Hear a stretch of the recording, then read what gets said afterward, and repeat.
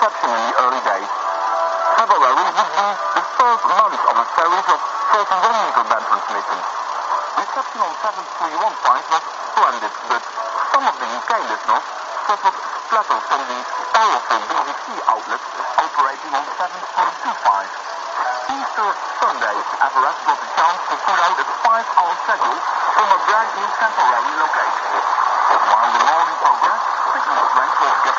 And stronger, and Radio Tirana was totally nulled out by Everest Holland's 60 watt transmitter on 7314 kilohertz.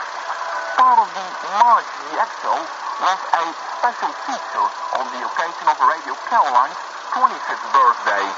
231 meter transmission was, in the eyes of Everest Holland, not enough to draw a well-considered conclusion regarding the use of the 7315 spot on the dial.